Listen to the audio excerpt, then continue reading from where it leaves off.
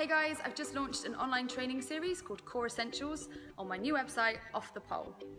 This is for anyone wanting to push through a pole plateau, reduce their risk of injury, or simply wanting to get stronger and lay the foundation to master those tricks.